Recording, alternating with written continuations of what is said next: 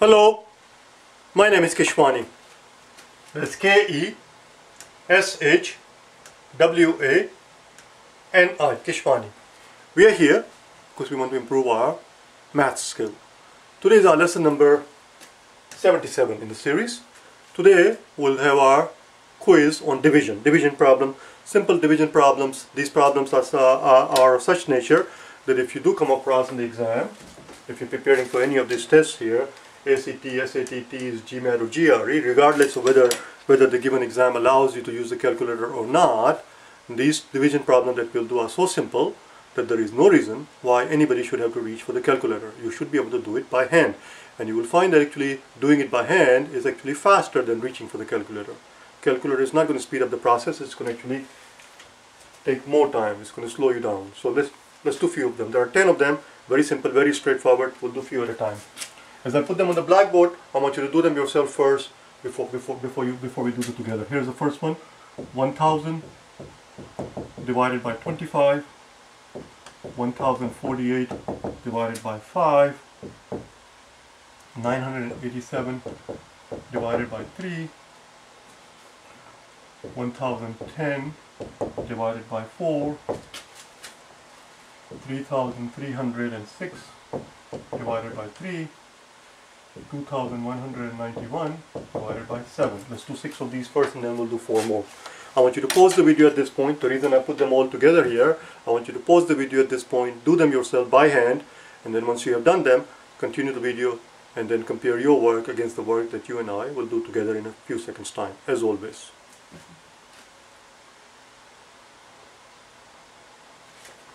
So let's begin.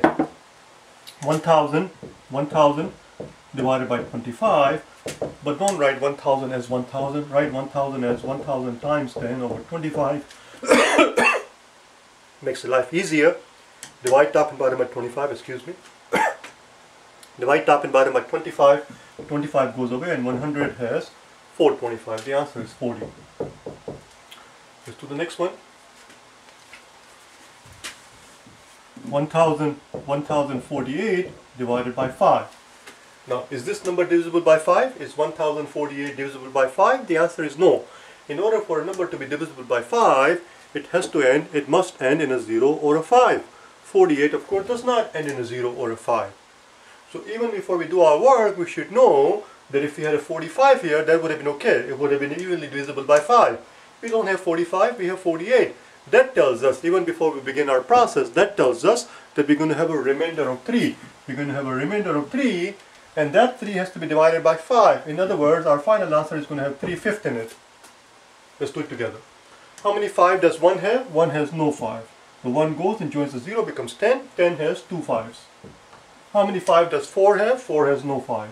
That 4 goes and joins the 8 becomes 48. How many 5 does 48 have? 48 has 9 5. 9 5s are 45. 9 5s are 45.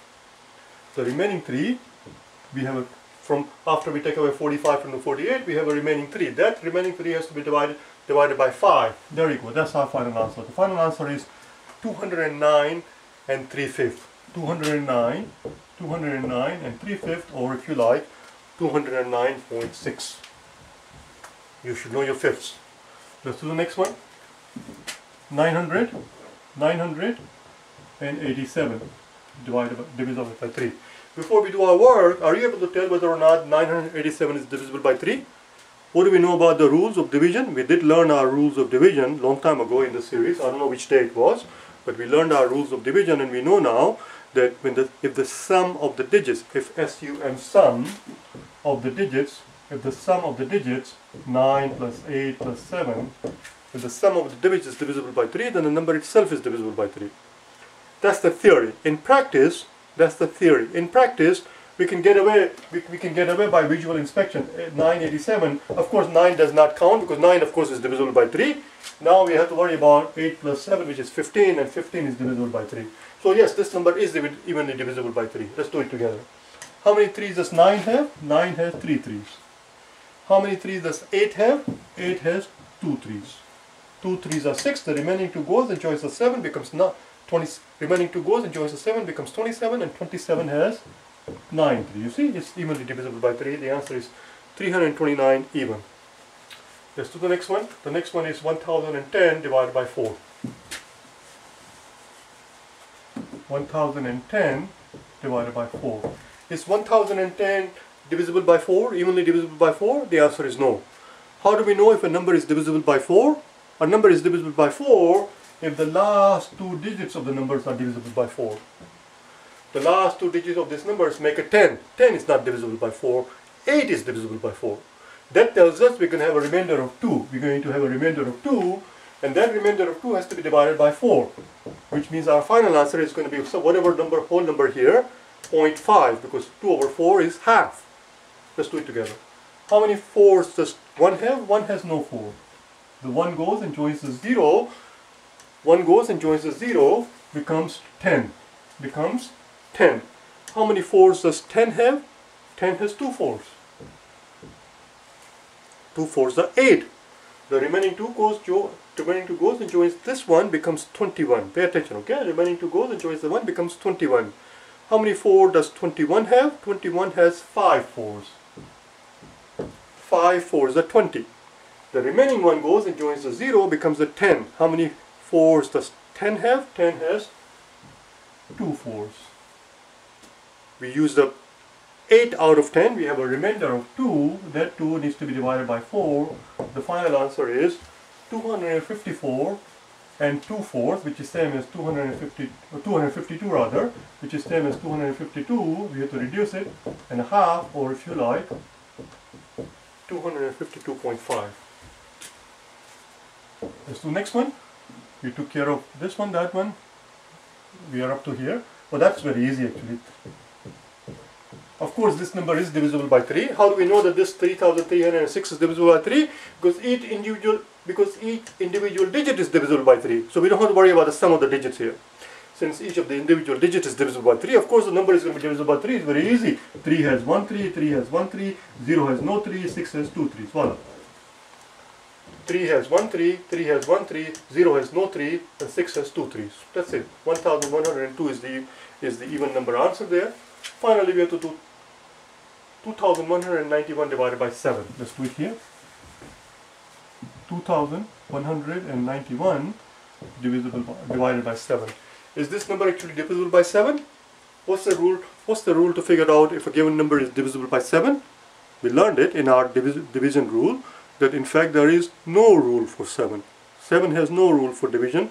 If there is one, I'm not aware of it. We just have to simply manually do it out. Do you understand? We'll uh, do it out manually and that's when we'll know if this number is evenly divisible by 7 or not and if it's not that's when we'll know at the end what the remainder is going to be. But by visual inspection we cannot tell. Let's begin. How many 7 does 2 have? 2 has no 7s. That 2 goes and joins the 1 becomes 21. 21 has 3 7s. 21 has 3 7. Make sure you should do your work like that. Don't cross out the 2 and the 1 separately. It's not 2 and the 1, it's 21. How many 7 does 9 have? 9 has 1 7. 9 has 1 7 the remaining two goes and joins the 1 becomes 21 and 21 has 3 sevens. What do you know? It, it is actually evenly divisible by 7, 313. In reality, of course, we should have been able to tell that this number is divisible by 3 because it is made up of 21 and 91 and 91 there we know is not a prime number we learned it 91 is not a prime number 91 is divisible by 91 is divisible by 7 91 is not a prime number. As we can see here, 91 is clearly divisible by 7. 9 has 1 7. The remaining 2 goes and joins the 1 becomes 21 and 21 has 3 7. In other words, 91 is the product of is the product of two prime numbers. People people when they're when they're looking for prime numbers, 91 is the most common mistake people make. They miss 91. They think that 91 is a prime number, 91 is not a prime number. Let's continue. Enough of the talk.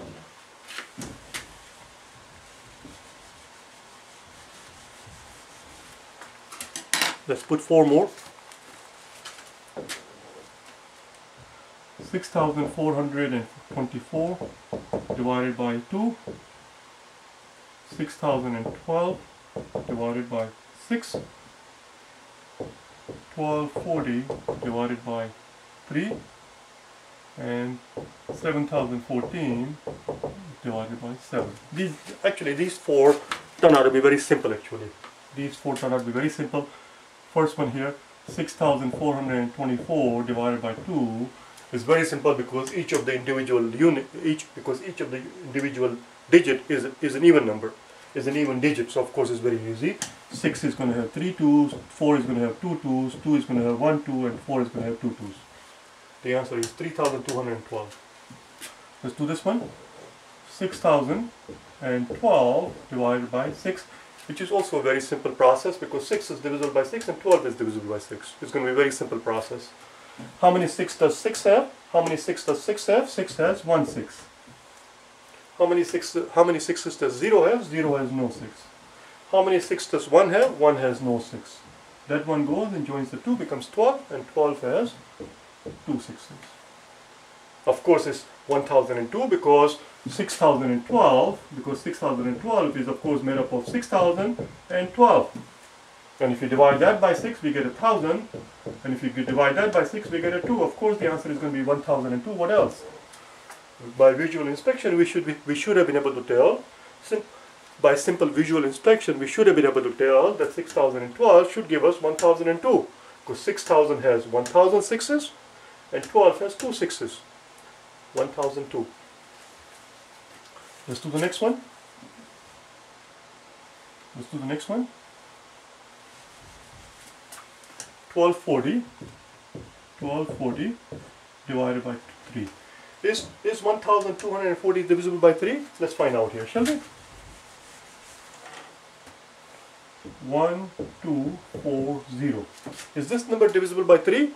Well, 1 plus 2 is 3, so of course these two digits are divisible by 3 we left with 4 plus 0. 4 is not divisible by 3.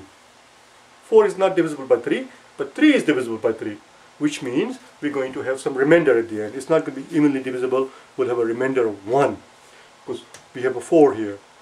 Had, be, had this been 3, it would have been evenly divisible by 3. It's a 4, we will have a remainder of 1. In other words, the final answer is going to have one third in it. Let's do it together. How many 3's does 1 have? 1 has no 3's. The remaining one, that one goes and joins the 2 becomes 12. 12 has 4 threes. 4 threes are 12. How many threes does 4 have? 4 has 1 3. The remaining one goes and joins the 0 becomes 10. How many threes does 10 have? 10 has 3 threes.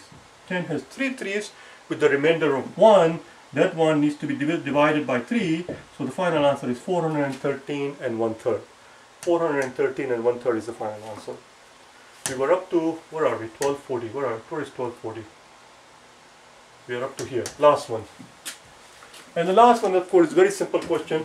By visual inspection, we can tell, by visual inspection, we should be able to tell that 7014 should be divisible by 7 because 7000 is divisible by 7 and 14 is divisible by 7, just like before, just like the before scenario. Here we had a 6 and we had 6000 and 12 is 2 times 6, 14 is 2 times 7. So it's the same answer, 1002 is going to be the answer because 7014, just like before, is simply made up of 7000 plus 14. And if you divide 7014 by 7, that is same as 7000 divided by 7 and 14 divided by 7. We're going to have 1002 as our answer. Let's do it together. How many 7 does 7 have? 7 has 1 7. How many 7 does 0 have? 0 has no 7s. How many 7 does 1 have? 1 has no 7. That one goes and joins the 4 becomes 14 and 14 has 2 7. I'll see you tomorrow, okay? Bye now.